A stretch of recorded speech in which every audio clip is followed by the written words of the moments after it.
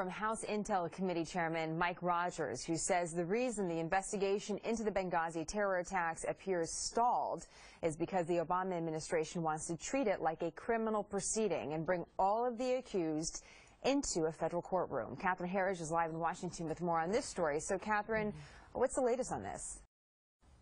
Well, Jenna, good morning. The head of the House Intelligence Committee, who was briefed on the status of the Benghazi investigation this week, tells Fox News that the administration's determination to prosecute the suspects in criminal courts, also referred to as Article 3 courts, with access to defense attorneys, has thrown up roadblocks.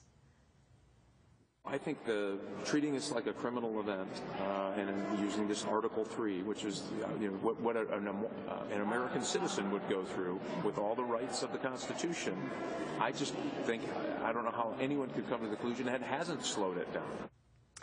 And Rogers says there is overwhelming frustration expressed by federal investigators who did not get access to this crime scene. You're seeing some new photos of the aftermath until nearly three weeks after the fact, adding that identifying and questioning witnesses is a virtually impossible standard to meet. The Libyan government, according to the uh, outgoing FBI director, he told Fox that it was too unstable to really offer the U.S. the kind of support it needs for such a complex international case, Jenna. Well, if that's true, then are there other options also being explored here besides this, this mm-hmm. criminal proceeding? Well, it's a good question. We asked the congressman whether the Benghazi case was ultimately a kill or capture situation. And Rogers says there is evidence now that the suspects remain on the battlefield and active within their terrorist organizations. These are the images of the suspects that were released by the FBI in May.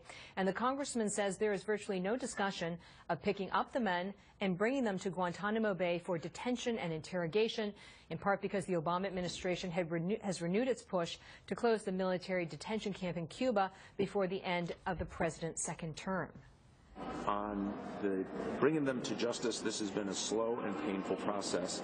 There is a lot of concern, and I had some of this, that we have not laid all the options on the table uh, for finding these individuals and then bringing them to justice.